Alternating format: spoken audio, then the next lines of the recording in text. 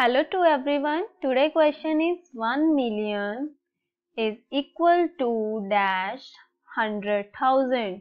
So first we will write 1 million. Here 1 million is when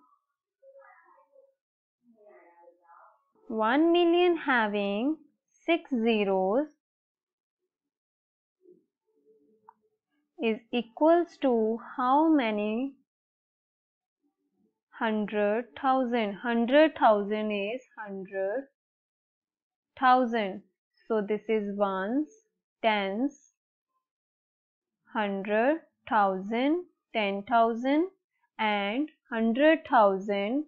Now which number is multiply with hundred thousand and getting one million?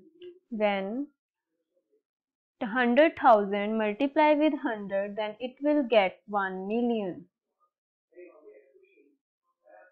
So answer is 10.